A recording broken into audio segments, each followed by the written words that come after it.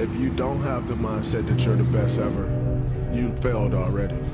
Before you can ever reach anything, you have to believe it. You don't just mistakenly